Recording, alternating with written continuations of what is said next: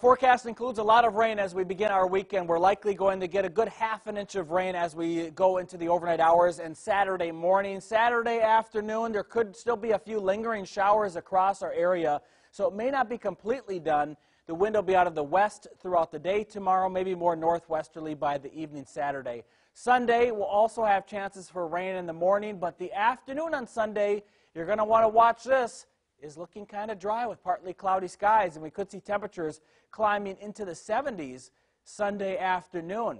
Haven't seen a lot of that. So we we will likely see temperatures in the 60s on Saturday, Sunday 74 degrees, Monday 59 with rain, and Tuesday colder with a high of only 42.